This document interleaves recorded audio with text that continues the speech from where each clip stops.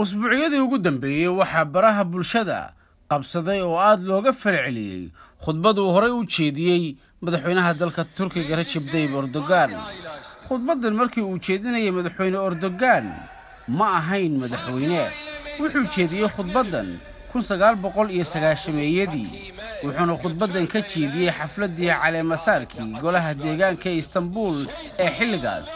Khudbaddan wuxuu ugu jawaabayey qaar ka mid a mucaaradkii isaga ka soo hor jeeday oo ku dhaliilayay inuu yahay shakhsi u janjeera dhinaca diinta islaamka iyo arrimo kale.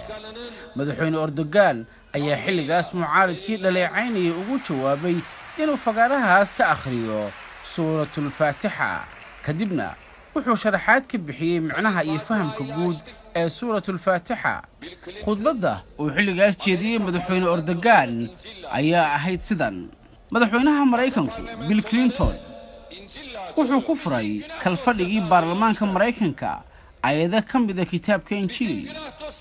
Baarlamaanka galbeedkuna waxa ay ku furtaan kalfadhiyadooda ayado ka mida kitaabka injiil. Reer galbeed inay diintooda sidaas ugu dhaqmaan waa wax caadi ah. Turkigana waa ka mamnuuc. Inayna yidhaahdaan wax suurtagal ah ma noqonaysa iyaga xaggooda waa ka suuragal. Alfaatixa waxay la micno tahay furasho. Alfaatixa macnaheedu waxa weeye waa ictiraaf uu addoonku uu allaah u qirayo addoonnimadiisa. Iyaaka nacbudu. Waxay soo bandhigaysaa xaqiiqada in aynaan caabudayn alle xaq lagu caabudo mooye. Alfaatixa waxay la micno tahay in aynaan wax dana ka lahayn in aynu gargaar weyddiisanno maraykanka reer galbeedka ama shirkadaha waaweyn. Iyaaka nastaciin.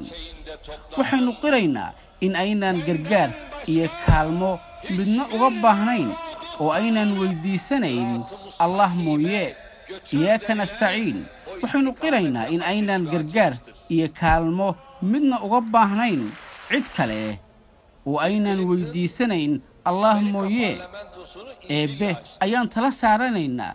Isaga oo keliya ayaan kaalmo weyddiisanaynaa alfaatixa waxay la micno tahay rabbiyow hana marsiinin kuwa lunsan waddadooda.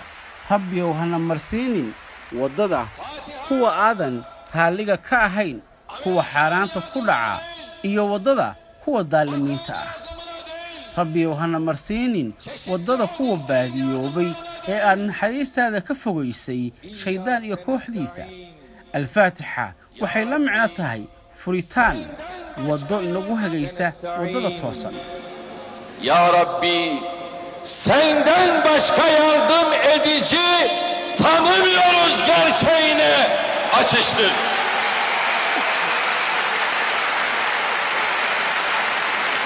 khudbaddan oo uu jeediyey madaxweyne erdogan labaatan sano ka hor. Waxaa soo cusboonaysiiyey inay asbuucii hore ku beeganayd xilligii uu jeediyey khudbaddan. Sida ay sheegeen dadka baraha bulshada khudbaddan kaga falceliyey in mowqifka madaxweyne erdogan aanu weligiis isbedelin dhinaca ku dheganaanta diinta iyo weliba difaaca diinta islaamka. Waxayna wax cajiiba ku tilmaameen xilligaas oo aanu erdogan xil sare ka hayn turkiga isla markaana turkigu ay ku xooganayeen kooxaha calmaaniga ah in uu jeediyo khudbad tan oo kale ah taasoo caddaynaysa geesinimo hal adayg iyo kalsooni uu maanta ku yimid halkan uu joogo. Madaxweyne erdogan ayaa lagu tilmaamaa hogaamiyaha ugu taageerada badan dhammaan dunida muslimka. Waa cabdirasaaq jubbaland intaan dib u kulmayno nabadgelyo